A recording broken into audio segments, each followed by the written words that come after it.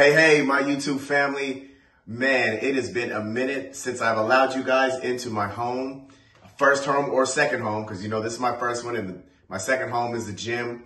And I apologize. It's just been a little hectic with trying to uh, wind down from competition season and then kind of wind back up and juggle the holidays and all that type of stuff. Nevertheless, I always love uh, it won't happen again. All right. That, that's what I can assure you guys uh, because I love communicating with you guys on here. I love bringing videos to you guys and I love uh, allowing you guys into my life. This video, guys, is going to be my top three things to build your best muscle out there, to build your fastest muscle out there. Well, it's actually probably about five, six, seven, eight things in totality, but you can just put it under the umbrella of three main things. This is also what I'm going to be uh, focused on uh, even more so than I have in the past. I knew that they were very important, but I'm going to be focused on them even more so leading into this next year, into the competition season,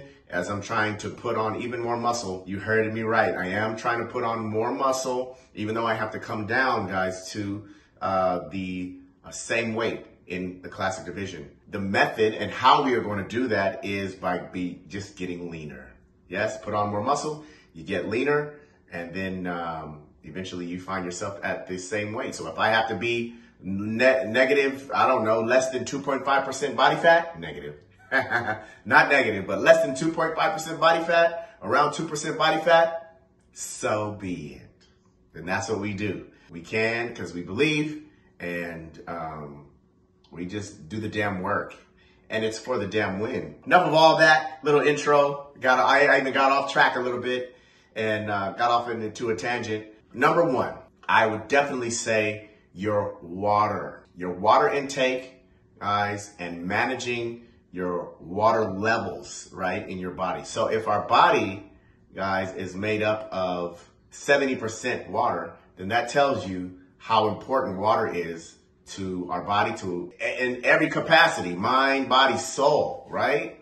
Um, so you have to uh, take in as much water as as you need. You have to take in a sufficient amount of water so you can you give your muscles, um, the muscle cells, the right amount of hydration as to perform, uh, the right amount of hydration to not uh, go into stress. Yes, to essentially perform and keep getting better and keep uh, improving in your performance from day to day to day, week to week to week, month to month to month, right? Guarantee you guys, if you guys are uh, slacking on your water or you guys aren't sufficient all the time with your water intake, you're doing yourself a disservice and uh, you are uh, not allowing your, your body to reach its full potential the fastest uh, way possible if you are dehydrated out there and you're not um, giving it, uh, your body a sufficient amount of water. Universally would be a gallon of water a day. Lesser active people, I would probably say a little bit less. But if you're active out there, especially hardcore lifters, uh, a gallon to even more uh, at least a day. Hydration and your water intake is very, very, very, very important in your recovery. Right. Number two is rest rest and sleep. I remember, guys, it was two years ago when uh, I was stressed out about something. It was maybe about three or four weeks out from Olympia, and um, I was just stressed. I can't remember what it was right now, but just super stressed about something. And maybe about three or four hours later, my body looked totally different. It looked like I had probably lost like five to five, six, seven pounds of muscle. Just deflation, deflation. Staying stress free, stress free as much as possible, and just getting uh, uh, enough rest, right? Because if you're not getting enough rest, that'll definitely stress you out, and that'll definitely raise your cortisol levels, right, to where your body uh, is not functioning right. Your body is struggling. We hear that it's eight hours out there is sufficient enough uh, for us. Um, I say whatever allows you to be fresh and function still, uh, you know, I think that would probably at least be six for most people out there. At least be six. For me, it's eight for sure. Sometimes even nine for me, uh, with a with a nap in there. But um, whatever allows you to feel that your best, your freshest, uh, your most, to give you your most bounce, then that's what you get. So, you know, let's, let's go with an average of eight. And I know it's easier said than done out there, guys, but you know, it's very, very important. Not even if you're trying to build muscle, man, but to just uh, make all the money that you want to make out there. Uh, still, you know, we, we joke about, it's not a joke, but everybody, you know, the, the, it's a favorite saying on, oh, I'll rest when I, I'll rest when I'm dead you know, but now it's money making time. You know, people like to throw that out there when they when you got to hustle, hustle, hustle, hustle, hustle to make money. But you ain't gonna be you you gonna be unravel out there, guys, if you are hustling so much and not sleeping. Uh, you're gonna drive yourself. You're gonna go crazy. Overtime, guaranteed, guaranteed. So get sleep, get rest, feel fresh because I tell you what, man, if I'm, I'm addressing you guys and I'm doing these videos for you guys and I'm tired all the time, guys, you guys are to see it. I'm not to be able to have the bounce that I, that I normally, uh, you know, like to have and that you guys expect. Um, you know, if I'm, if I'm tired out there and I'm not sleeping and I'm not getting a sufficient enough, uh, amount of rest. All right. So very, very, very important. Stress levels staying down with sleep. Now, it's, it's, you know, life is life and we all go through things and we all have stress anyway, even if we are having a lot of sleep, uh, getting a lot of sleep. Yeah, I know, I understand that, but um, you're going to eliminate a lot of uh, negative things that can happen out there for you uh, just with sleep alone. And then you will be able to handle the, all the other stresses out there. That was the second thing. The third thing, you have to master all the basics guys. You have to master all the basics, okay? And I'm talking to myself too, guys, because I'm still working on mastering my basics. Now, let's talk about what the basics are.